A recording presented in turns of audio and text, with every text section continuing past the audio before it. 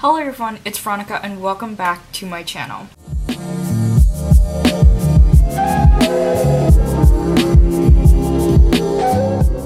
Let me put on my glasses first because I took it off so that the thumbnail wouldn't have glare, but I need a I need to see. So today's video, by the way, is going to be a I don't know, like an experience, experiment, if you will. I am going to tackle Colleen Hoover. Here I have six total books. Now I should mention I have read Colleen Hoover in the past. Not a lot. I've read Hopeless and Lost. Why? I said this title in my head like a few minutes ago and now I've already lost it. Hopeless and Losing Hope. There you go. and the only reason I remember that is because I remembered a band and guitar related things. And so when I searched the synopsis up, I was like, yeah, this is those two books are the one I read and I will not be rereading those because I feel like I would simply not enjoy them unlike when I read it. I think I read it in middle school or something like that. But now if I read it, I feel like I just probably would not have a good opinion on it. Maybe. I mean, I don't know. I would have to reread it and see, right? I just don't want to reread it, is what I'm trying to say. I probably could have said that in such an easier way. Anyway, let's go through the pile of the six books that I have. The first book is All Your Perfects. This one, I honestly don't know. I think that they're in like, they got married or they're about to get married or something and they're just kind of in the like slump of the marriage, I guess anytime I, I talk about books that I haven't read, I most likely don't know the synopsis, and that's like my problem. Um, so basically, their perfect love is threatened by their imperfect marriage. So we have a then and a now, and I guess we're going back and forth between the time of when they first met and then fast forward to them in a marriage struggling marriage, and I guess they're trying to make it work. This is the first book. I love the covers, by the way. I think they're really pretty. Um, the next book is Heartbones. This one is a summer fling. Wait. So they're neighbors and they can only really spend time together in the summer. I don't know. I'm sorry. Yet again, dope cover. Hella cool cover. The skulls, sorry, really add awesomeness to it, I guess. I just, I love skulls and flowers for some reason. Basically, it says their bond is too intense to ignore, but with only the summer separating them from the start of their new lives on opposite ends of the country, Beyah and Samson decide to stay in the shallow end of a summer fling. What they don't realize is that a rip current is coming and it's about to drag both their hearts out to sea. Her her synopsis, I feel like I read somewhere is or heard it somewhere, are just so vague that they don't tell anything, which I like in a book. Um, yet again, I really don't know what any of these books are, so please don't judge me if I get something wrong. I will read it and I will find out. The next one is probably the most popular, or at least one of the most popular. It is November 9th, and I think I pretty much know this one. They basically meet every day on November 9th. He's an author, I believe uh, an aspiring novelist, and basically he wants to write the. Okay, I really don't know. They continue to meet on the same day every year, that I knew, until one day Fallon becomes unsure if Ben has been telling her the truth or fabricating a perfect reality for the sake of the ultimate plot twist. Can Ben Ben's relationship with Fallon and simultaneously his novel be considered a love story if it ends in heartbreak? Good question. I think this one I'm most excited for just because I've heard the most about it. That being said, I've heard great things about everything, so I'm not gonna be like, oh yeah, meh. The next book I wanted to, I picked up is Verity. I don't know what I've heard about this book, but it's um weird is what I've heard everybody, or I get, I don't know if weird is the word to say, but unusual I guess. Um, basically, our main character is a ghostwriter, I believe. She's a struggling writer and Jeremy Crawford, husband of best-selling author Verity Crawford, has hired Lowen, our main character, to complete the remaining books in a successful series his injured wife is unable to finish. So Lowen starts to go through just the manuscripts and everything. She uncovers um, an unfinished autobiography of Verity's that uh, she never intended anyone to find. I don't know. This is very interesting. I can't go more into detail because I don't know how to describe it, but basically she discovers this manuscript of her of Verity's life and now she I guess I think she writes that manuscript. I don't know. Do not quote me. Do not judge me for not knowing. That's Verity. I mean, I've heard great things. I've heard just great things about uh, Colleen Hoover. Next is Ugly Love. This is by far one of the most popular, probably the popular book um, by Colleen Hoover. Basically, Miles does not want love and she doesn't have time for love, so that leaves just sex and they're in like the perfect no strings just so long as Tate can stick to the tool rules Miles has for her. Never ask about the past, don't expect a future. They think they can handle it, but everything is different when real emotions start to change the equation. So that's interesting. I've heard really good things about this book. Like I said, every book is really emotional, so I'm very interested. Where I'll start first, I don't know. Next, I have most famous. It ends with us. This is about Lily and Ryle. Basically, Lily moves to Boston and she meets Ryle, but then her past love reappears. Everything Lily has built with Ryle is threatened. So I guess this is kind of like a love triangle. I don't know. But I do know that her newest book, It Starts With Us, I believe, is about her and Atlas in the past do not quote me on it, okay? I don't know. These are the four books that I will... Four? Six books. Sorry, I apparently do not know math. Those are the six books that I will be reading throughout the whole of October. Um, that is it. I don't think I'm going to make this into a reading vlog just because I feel like that would take too long. This video would be way too long. Let's talk about probably, I guess, my ratings. I don't think I'll be giving all of them five stars. I don't know. I feel like the highest at the moment, all of these books are very much four stars.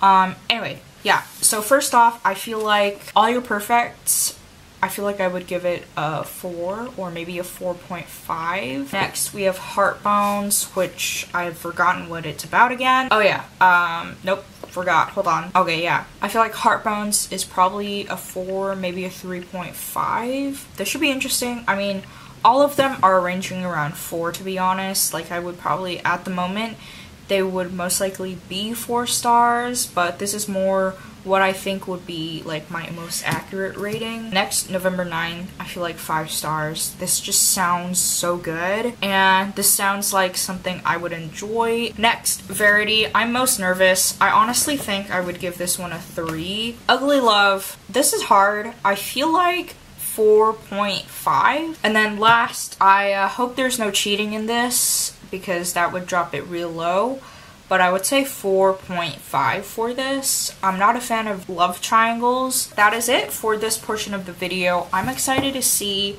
what I rated these guys. I will like update you guys every time I finish the book and give you a more accurate rating. I do hope you guys enjoy this video. Let's see what I think about all of these books. I'm scared. I mean, I've been really scared for the past like year or two of reading Colleen Hoover because she's just mega uber popular and I'm afraid. So I'll see you guys all for my first update. I don't know which book I'm starting first. I will see you guys for that first book review. See you guys. Hi everyone. It has been a while. I think it's been about like a week or maybe even two weeks since I last updated you guys and I haven't really gotten far with my Colleen Hoover experiment. Unfortunately, I'm very much still reading Verity. That book is taking me a really long time. I just haven't gotten to it. So I stopped and instead I do actually have an update for you guys. And um, it is for November 9th and November 9, sorry. What did I give this? I gave this 4 stars. I actually enjoyed it. Like I feel like it was just kind of like, it was interesting.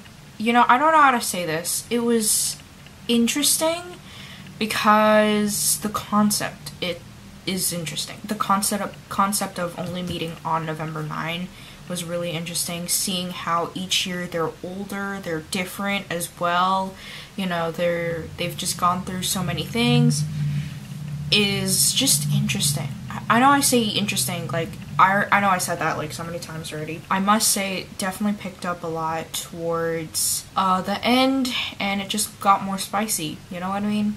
I don't know how to explain it. I must say, uh, their earlier years were a little slow, but finally, when we actually get to like the nitty gritty third part area, you know, the third act, it was very interesting. You're not expecting things to go this way, and I certainly wasn't. This is pretty good, four stars. I have Ugly Love on Kindle as well. Uh, which I could also read. So I will see you guys all next time for hopefully Verity or I guess whatever I read or finish next. I will see you guys then.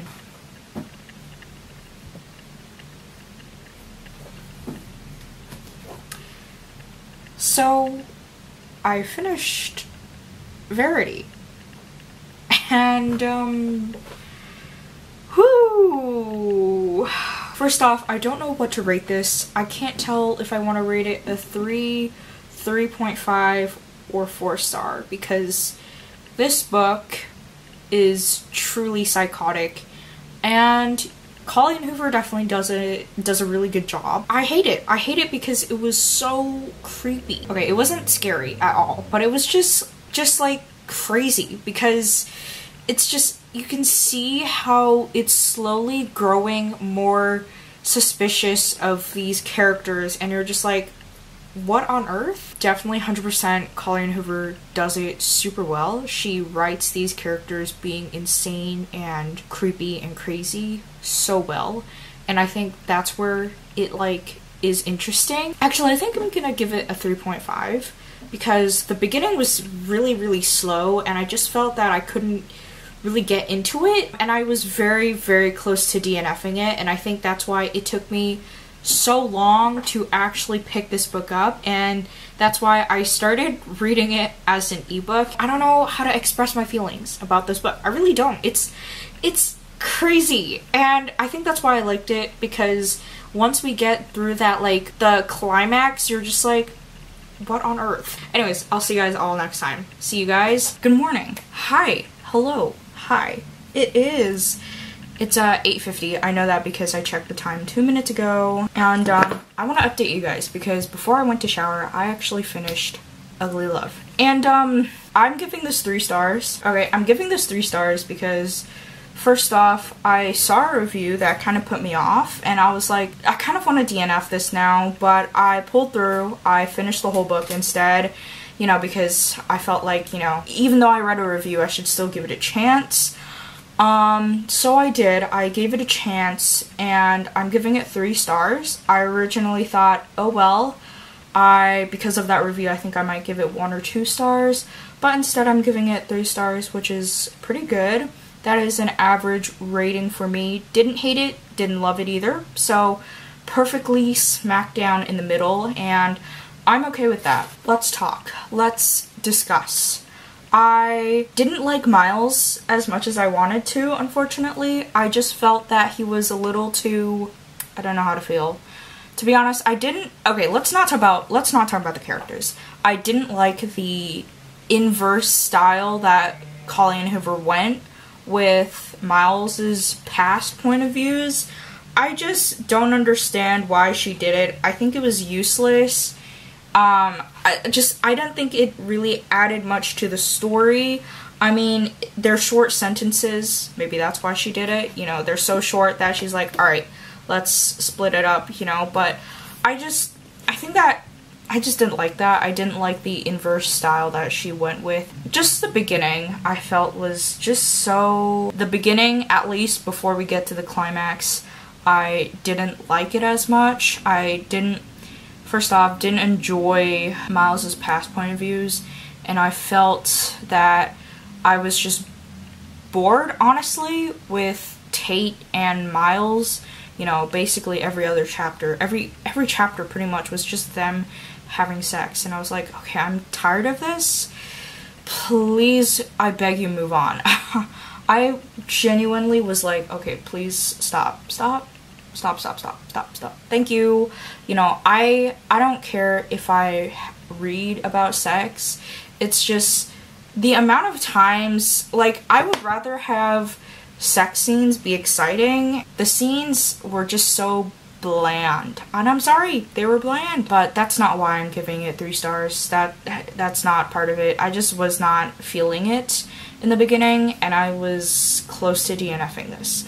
I think there's a clear overall theme with Colleen Hoover. They're so slow in the beginning at where I'm like, yeah, I think I want to say bye to this and then I end up sticking through it and then I end up giving it a pretty good rating. It was a happy ending, but it wasn't, the storyline wasn't happy. Like, I get it, it's ugly love. It's called that for a reason because it's literally ugly love, and that's fine. You know, Miles's past was ugly. It was a, it was an ugly love, right? Literally. Yeah, I was okay with it. I think the one thing I must say is that chapter with the character who shows up who is part of Miles's past, that chapter made me feel things. I didn't cry. This this book didn't really make me sad. Am I crazy for saying that?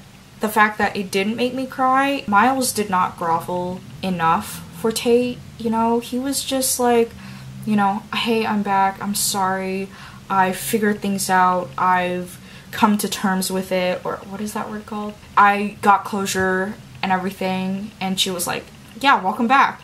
You know, I wanted more like, no, fight for this, you little bee. I just wanted more fight in Miles for Tate and his relationship. I was just like, bro, fight. What are you doing? Fight for this relationship.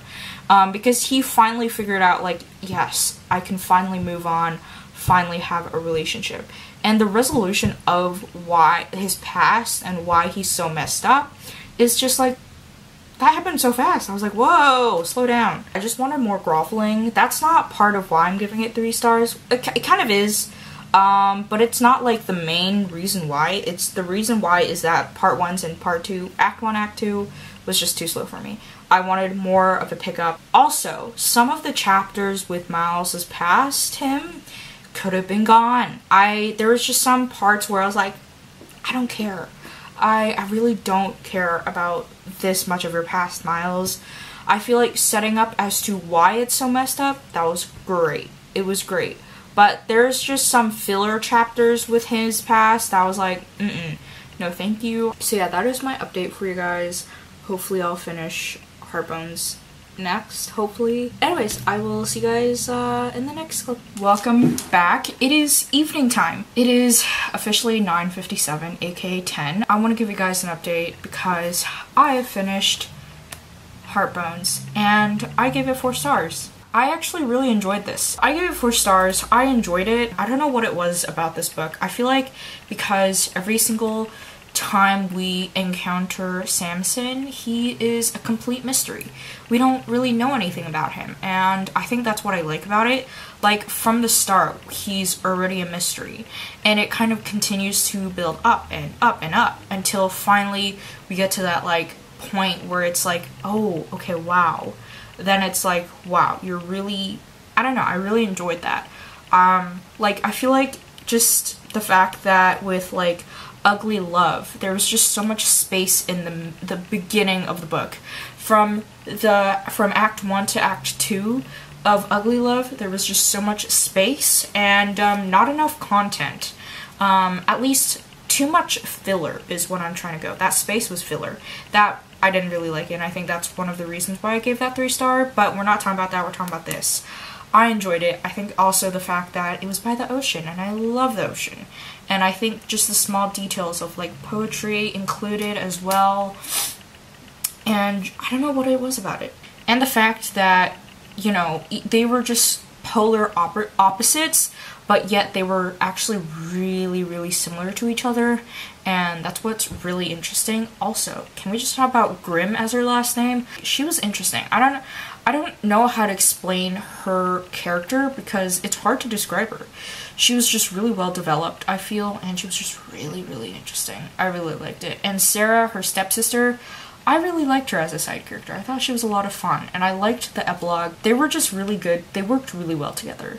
You know, they're opposites, yet so basically the same person, you know? And I think that's what I really liked about Heartbones. I feel like this was subtly written yet well written, and I really enjoyed it. I just, I feel like I'm repeating myself at this moment, so I'm really sorry. So I'm gonna just end this review here by saying four stars. Really, really enjoyed it. Hello, everybody. I actually um, did a recording before this, but I'm gonna scrap that. I went through too long of a rant, and it was just so angry. Um, but I still very much agree with what I said. Basically, I finished All Your Perfects by our very dear Colleen Hoover, and um, I'm I I'm giving I gave I gave this two stars. I finished it this morning, but I did have to go to campus, so I went to campus and everything. It's 5:30, by the way, 5:35 technically, but I gave this two stars. First off, I uh, didn't really like this book. This is not my favorite out of the five that I've read, and I would say it is lower than Ugly Love because, ding ding, it had cheating in it. Twice. Two cheating. Two cheats. The first one, technically, I don't really care about because it's not important. She got cheated on by her fiance, and that is actually how Quinn and Graham meet because their partners cheat with each other um, so Graham's girlfriend or fiance, whatever, cheats with Quinn's fiance. So, you know, that's how they meet. And so that one, you know, it's secondary. We only get that one chapter of it. It's not, it's like the beginning, you know, like we don't really see anything or hear anything or whatever. We only know. So that's like, that's not something that I really care about. The second time, Graham cheats on her. Like, you would think that you could see how she is scarred from that cheating moment with her ex-fiance. But no, he like doesn't learn. He did he didn't learn. And you know what's sad is the fact that they were married for like five, four five years, six years, and he ends up cheating on her. The one thing that lacked was the fact that Graham actually was really bad. Like I didn't like him as a hero. I hated him. I loved him in the beginning, especially when we see them in the past to the to you know the act 1. I liked him in the past when they were getting to know each other and everything. But then once we I feel like dive into the marriage part and the present day of their relationship, he just continues to go downhill and I didn't end up liking him unfortunately. Cheating, by the way, is basically an automatic one star for me. If you have cheating, I'm gonna hate your book so bad. I just, there, I can deal with the pregnancy trope, but I cannot ever deal with cheating. Cheating is by far the worst thing to ever exist in fiction. Don't even get me started on real life, okay? We're talking about fiction here. Don't comment, by the way. I don't want to deal with any of this, okay? I get marriages have their downs, but we never truly see their ups. We don't see their ups. And I think also another thing is the fact that, you know, there wasn't any communication. You know, everybody's like, marriage, you must communicate and everything, but they bottled the heck out of their self themselves. Okay? They Graham ended up writing letters and what did whatever Quinn's name. What did Quinn's name? What did Quinn do? She bottled. They both bottled their emotions. They never talked, and I think that's honestly that's literally why she became depressed because they didn't talk about the fact that they didn't talk about that she was infertile at all. You know, they just dealt with it silently, and that's why she's got so much pain she didn't talk about it. And I get, you know, it's scary to talk about, you know. It's like, Veronica, you don't understand. You never went through this. Don't comment that, okay? Just don't comment anything, okay? Just sit through this, watch it, or skip this, okay? But I just, I, I don't know. Like, everybody's like, communicate, communicate, and then you don't see two characters who are married to each other communicate. One ends up cheating on his spouse. It's like, geez, okay, divorce. I please. I this is I have so many instances these days where I'm just like they were better off divorcing or breaking up. I just they just I feel like they could have done so much better with each other without each other. And I get like soulmates, Veronica, yeah, fine. They're soulmates, fine, whatever, stay together. But it's just I did not like it. I didn't feel comfortable at all, and by the time I finished this, I was just like, ugh, yeah, I'm done. Thanks, Colleen Hoover. I realize now that I really don't enjoy most of your books. This whole week has just been Colleen Hoover books straight, and um, I'm done. I they suffer too much, and I don't enjoy suffering. I get it. Marriages suffer sometimes. I get it, but they also have happier moments. But this zero, all suffer. And if you don't agree with any of this and what I'm saying, I get it. It's this is all very my opinion. This is all my opinion for these books. Um, and for all your perfects. So if you have a different opinion, yeah, of course you're gonna have a different opinion. You know, everybody has their own thoughts and process with books. So if you don't agree, I'm okay with that. But if you do, I'm also okay with that. Whatever you choose. Um, you know, you could have loved this, you could have cried. It's okay. It's totally okay. I'm gonna continue reading Ends with Us, so I'll see you guys soon, and I'll update you guys later. Hi everybody. Hold on, let me get my stool ready. Yeah, I really do need a footrest, okay? I'm that person, alright? Don't judge me, please. Hi, welcome back. I know, I'm probably a little too close for comfort. Let me back it up a little bit. Okay, first off, today was the day I left my hair tie home and I've been like this all day with my hair just a complete disaster. This was the last and final book and I'm gonna go ahead and tell you guys what I rated this. I rated this 3.5 stars. I actually really enjoyed this. This is definitely one of the tops for this experiment and obviously all your perfect and ugly love is just the big the end the below but um, I will kind of rank this into what my favorites are.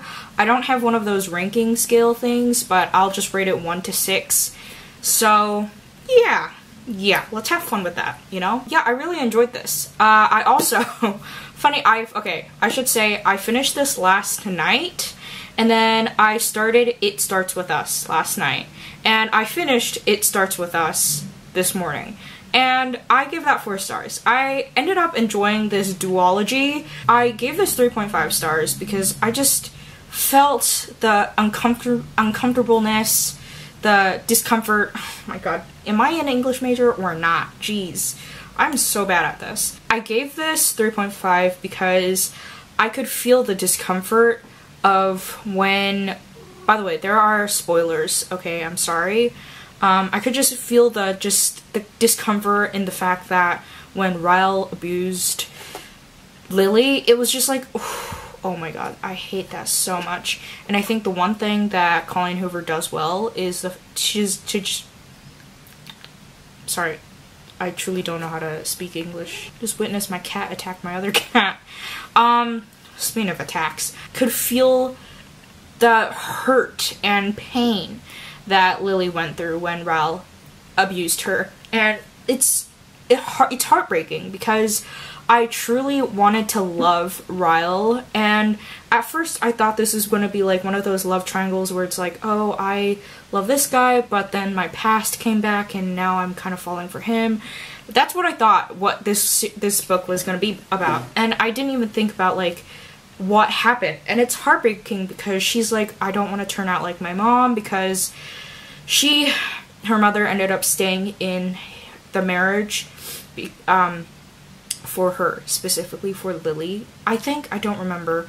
And she was abused. And so Lily went through her whole, whole life watching her father abuse her mother. By the end, we see how, you know, she has so many people around her. And I loved that. She had just the people around her to tell her it's okay to leave your marriage with Ryle because she actually marries Ryle in a spur of the Las Vegas moment, wedding kind of moment. And, um, you know, at first it's perfect, it, it was amazing, and I was seriously rooting for Ryle and Lily. But then by the end, we're like, okay, she deserves this divorce, she needs it, and it starts with us really showed Ryle's true color. At first I was like, Atlas, what are you doing? You fool, get away. But also I was kind of loving Atlas um, during this book. Like Atlas was neutral in It, it Ends With Us, but I really started to truly love Atlas in book two, and I loved it. Um, you could tell that you know he just had this like sense of like I want to be with her and I will always love her. This soulmate situation. I was like, yeah, that kind of gets me in the feels.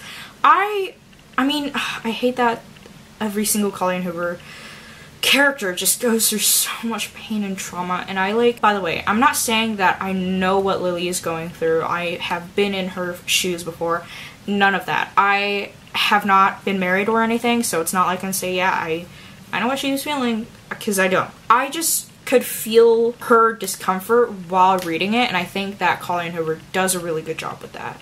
So I think it's really well written but I think I'm giving it 3.5 stars because of just the sections where we have the letters or just this like diary entries so to speak. It's her when she was younger when she met meets atlas and um, she hasn't written that written in it since she was 16 but she has these journals because she she actually reads them throughout the book like she's reminiscing i didn't care for atlas through these point of views. Like I didn't care about the past and to be honest, I actually skipped majority of her Dear Ellen moments. I skipped all of them actually.